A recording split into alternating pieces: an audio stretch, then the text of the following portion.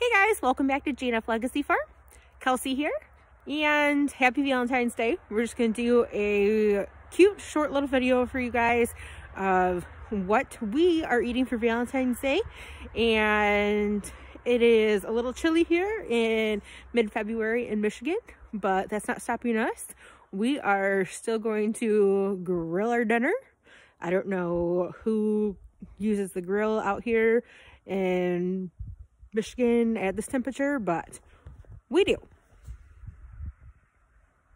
Now, for the last couple years, we have had our Valentine's Day dinner at home. Uh, we don't really have any desire to go out. There's usually too many people for us. And honestly, once you raise like really good beef, it's hard to find anything better than that. So we prefer just to cook at home and enjoy our own company. And then later on in this video, I am going to show you how we make ice cream from raw milk. Now this is not a cooking video by any means. I just kind of wanted to, it's more of a vlog. I just wanted to show you a little bit of what we're doing today.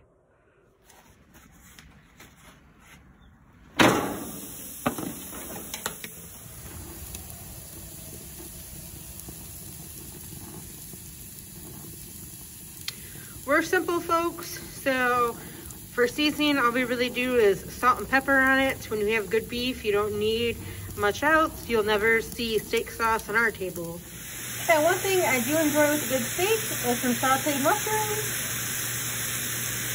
Now you'll notice throughout my kitchen that I do have a lot of uh, Pioneer Woman, Basset Hound things. I don't know if you guys have ever met our dogs. We do have two adorable Basset Hounds. And I'll include some cute footage that I took of them the other day. So you guys can start to meet them and you will see a lot more of them, I promise.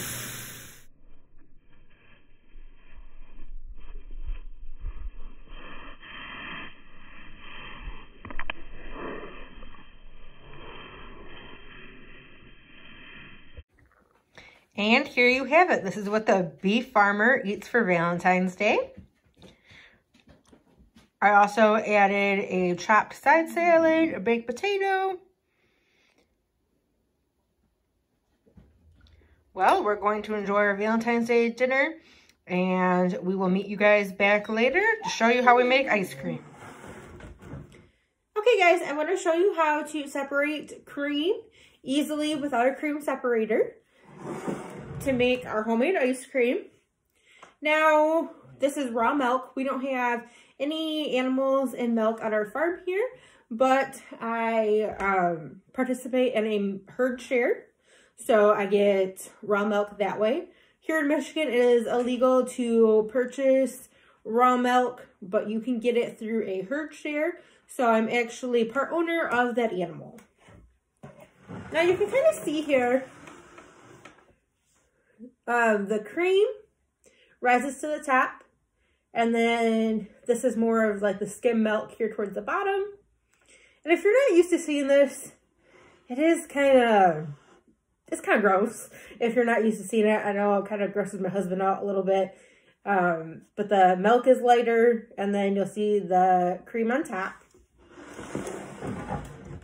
So there's a lot of different ways you can do it.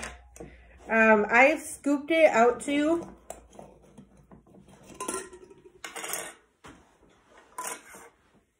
I already um, put some in here from some other milk that I had. So for our ice cream that we're going to make, we use about just under a quart of cream. And what I do is I just pour some off the top. And you can see it, like you'll be able to tell if you are pouring like just the milk or the cream. And then like ever so often I'll just kind of stop and let it settle again.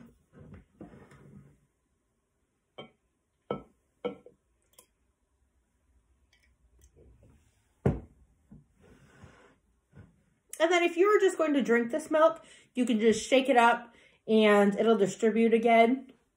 Um, and then after a while, it will settle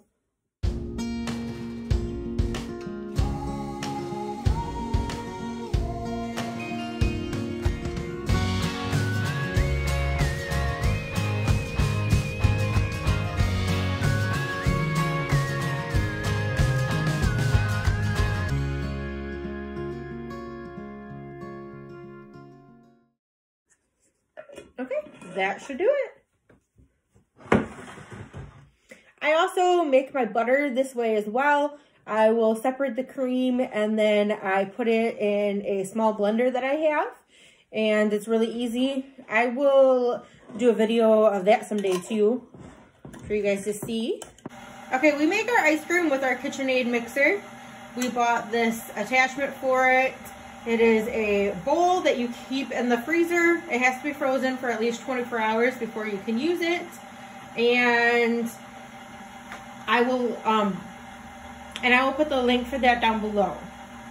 So all we use for our ice cream recipe is fresh cream, sugar, vanilla, and a pinch of salt. Make sure that you have the attachment running before you start to add any liquids or else it will freeze to the bowl. Ask me how I know.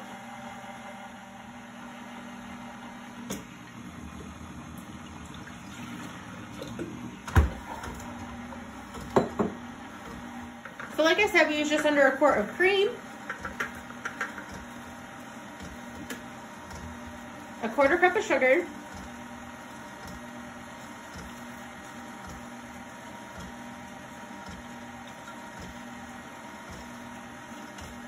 about a teaspoon or so of vanilla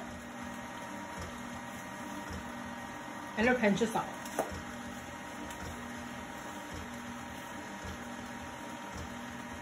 It's very important that you keep it um, going the entire time because if you stop it, again, it will stick to the bowl. And we just keep it on the lowest speed possible.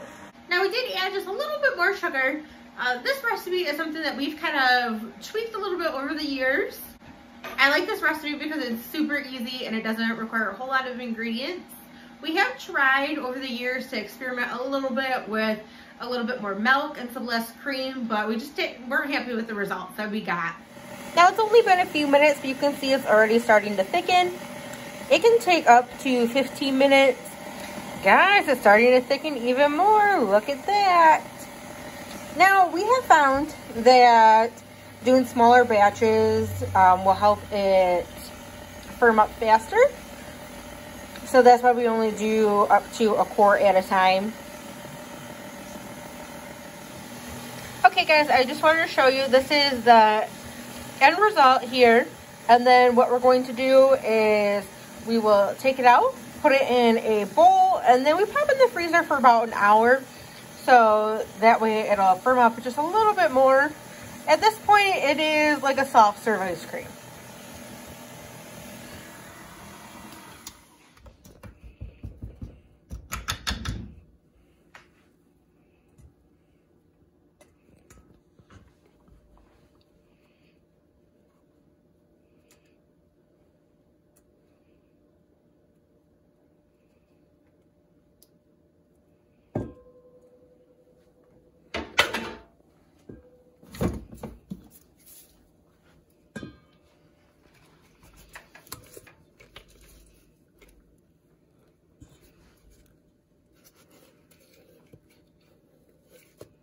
Guys, look at that. I can't wait to enjoy some fresh ice cream.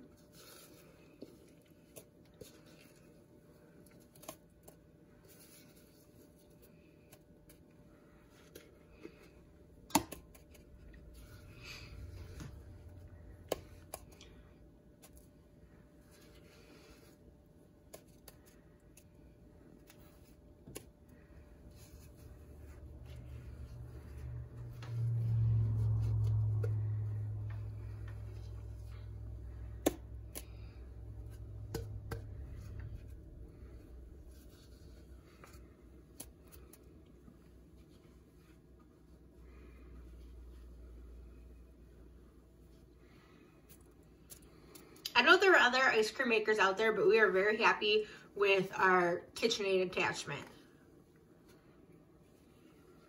If you use a different type of ice cream maker, feel free to tell me about it in the comments. Okay, and I just kind of want to show you guys real quick. You can see, you know, it is pretty thick, especially um, it came out pretty quick today. And like I said, we're going to pop this in the freezer for about an hour. Okay, this is my Basset Hound Boots. She's our second Basset. Um, our other one is four years old, and this one is eight months old. Well, hi, Boots. You guys will be seeing a lot more of her. She's very energetic. This one is definitely a little spunkier than my other Basset Hounds. And when people tell you that Basset Hounds are lazy, this one is not, despite the yawn. I promise. Well, thanks for spending Valentine's Day with us. And I hope you enjoyed getting to see how farmers eat for Valentine's Day. Can you say bye, Boots? Bye, guys. All right, guys. Thanks for hanging out with us today. Happy Valentine's Day. Happy Valentine's Day to you too, Boots. And I hope